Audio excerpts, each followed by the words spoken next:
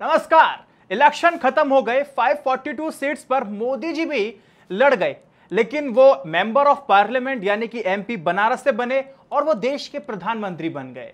ऐसे में आपकी कॉन्स्टिट्युएंसी यानी कि आपके चुनावी क्षेत्र में कई सारे मोदी जी तो नहीं जीते, लेकिन ऐसे ही आपकी कॉन्स्टिट्युएंसी यानी कि आपके चुनावी क्षेत्र में आपने कई सारे मोदी तो लड़ा दिए, लेकिन अनजाने में आपने अपनी कॉन्स्टिट्युएंसी यानी कि चुनावी क्षेत्र में अपना एक रिप्रेजेंटेटिव भी इलेक्ट कर लिया है, जिसको मेंबर ऑफ़ पार्लियामेंट कहते हैं, जो आपके बात को वहाँ तक पहुंचाता है और आपके लिए वो काम करता है, उसको हम एमपी भी कहते हैं। तो इस वीडियो में हम बात करेंगे, अनजाने में इलेक्ट किए गए एमपी विनिंग कैंडिडेट के कई सारे चीज़ों पर बात करेंगे। जैसे कि उनका क्रिमिनल रिकॉर्ड क्या है, उनका फाइनेंशियल स्टेटस क्या है एजुकेशन क्या है, वगैरह वगैरह वगैरह सब कुछ। चलिए, शुरुआत करते हैं।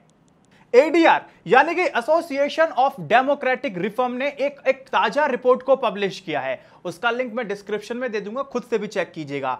अच्छा एडीआर की रिपोर्ट बताती है कि 539 सांसदों, यानी कि मेंबर ऑफ़ पार्लियामेंट के बायोडेटा को चेक किया गया, जिसमें से 233 जो विनिंग कैंडिडेट पर कई सारे क्रिमिनल केसेस चल रहे हैं क्रिमिनल चार्जेस हैं। और अब इन 233 विनिंग कैंडिडेट्स का ब्रेकडाउन करते हैं एक एक करके पार्टी वाइज कि किस पार्टी में कितने कितने मेंबर ऑफ़ पार्लियामेंट ऐसे हैं जिसमें क्रिमिनल केसेस चलते हैं। तो शुरुआत करेंगे भारतीय जनता पार्टी बीजेपी से। बीजेपी के 116 एमपीज हैं और विनिंग परसेंटेज की बात की जाए तो 39 परसेंट हो जाता है, जिनके ऊपर क्रिमिनल केसेस चल रहे हैं क्रिमिनल चार्जेस हैं। अगर बात मैं कांग्रेस की करूँ तो 39 एमपीज जो जीत चुके हैं, वो पार्लियामेंट में बैठे हैं, बैठेंगे।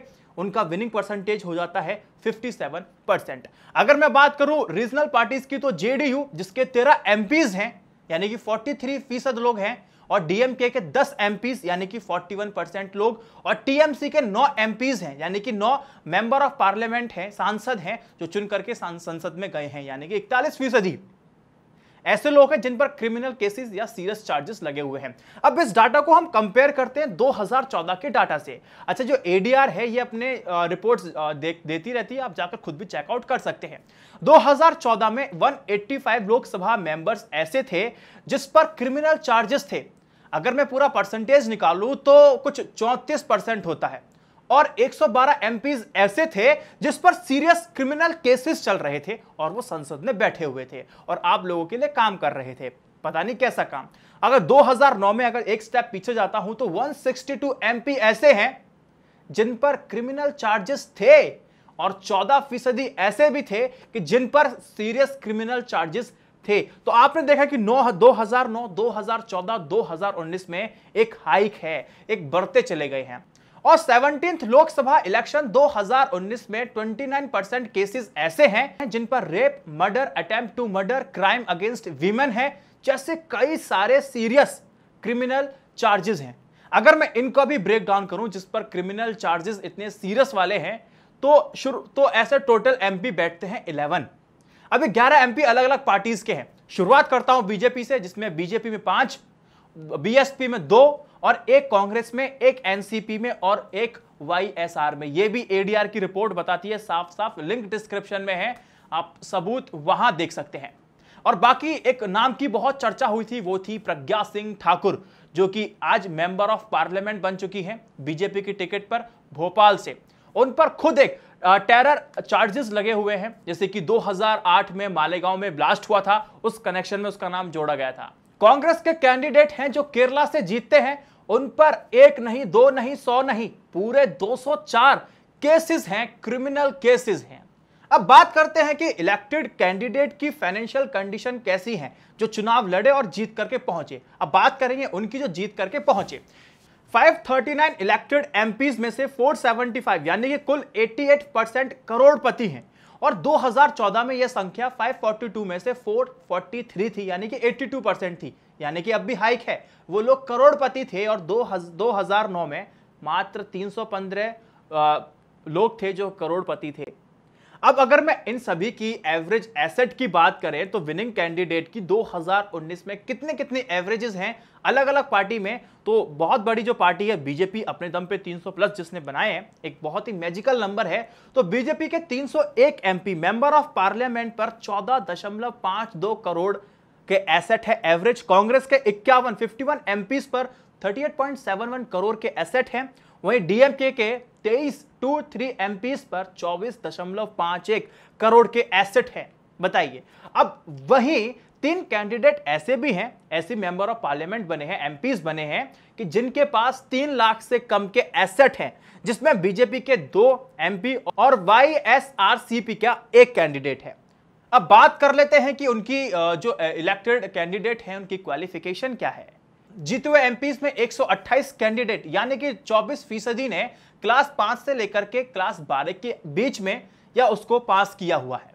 392 कैंडिडेट्स, यानी कि तिहत्तर फ़ीसदी ऐसे हैं जिन्होंने या तो ग्रेजुएशन कंप्लीट कर लिया है या तो पोस्ट ग्रेजुएशन को कंप्लीट की हुई है। वो ये आंकड़ा बताता है। और वहीं एक एमपी ने खुद को लिटरेट यानी कि वो लिख सकता है, पढ़ सकता है साइन कर सकता है, वो डिक्लेयर किया है। और एक कैंडिडेट ने अपने आप को इलिटरेट डिक्लेयर किया है, जो कि अब लोकसभा चुनाव में जीते थे। अब बात करते हैं इलेक्टेड 572 लोकसभा मेंबर की, कि उसमें कितने एज ग्रुप के लोग हैं अलग अलग 194 यानी कि 36 फ़ीसदी लोग ऐसे हैं जो 25 से 50 साल की उम्र के बीच में हैं। 343 64 परसेंट लोग ऐसे हैं जिनकी उम्र 51 से 80 के बीच में है और दो एमपीज ऐसे हैं जिनकी उम्र 80 साल से ऊपर है।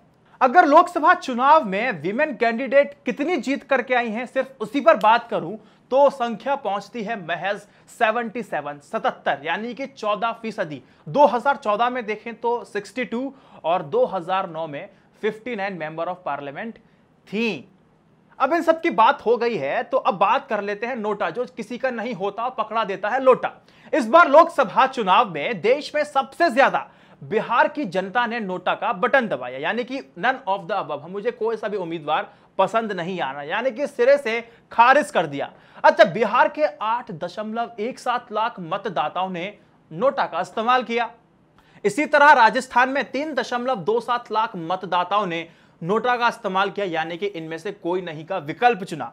अब दिल्ली में आम चुनाव में पैंतालीस हज़ार से अधिक मतदाताओं ने नोटा का विकल्प चुना।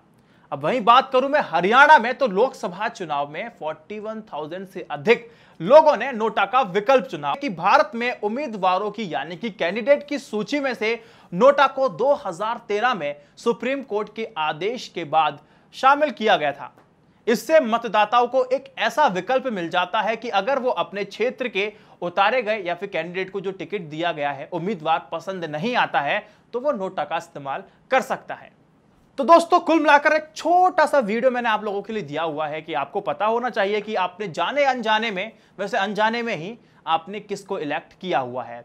इसीलिए मुझे बताना ज़रूरी था। हर कॉन्स्टिट्यूएंसी का मैं नहीं बता सकता कि इस कॉन्स्टिट्यूएंसी में ये व्यक्ति हैं तो इन पे ये क्रिमिनल केसेस चल रहे हैं। ये आपकी ड्यूटी है आपको पता लगाने की। अगर आपको नहीं पता कि कैसे चेक करते हैं तो डिस्क्रिप्शन में मैं लिंक दूँगा, तभी जब आप मेरे से कमेंट में सवाल पूछेंगे।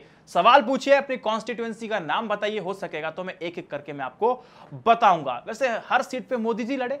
दोस्तों, इस वीडियो को शेयर कीजिएगा। जय हिंद, वंदे मातरम स्टे अपडेटेड स्टे एजुकेटेड सत्यमेव जयते नमस्कार